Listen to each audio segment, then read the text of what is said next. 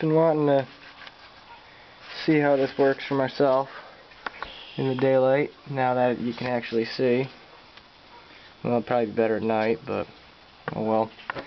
This is the little fuel tank for the thermostart.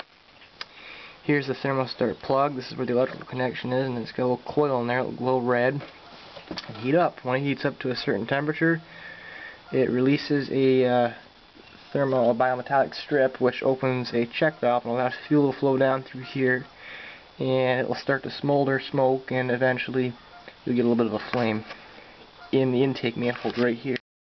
And I'm going to turn the key backwards. Should be about, it's like 10 seconds I think until it lights up.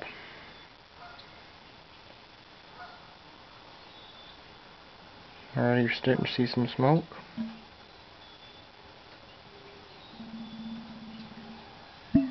Wow, here's some little flamage in there now. How about that?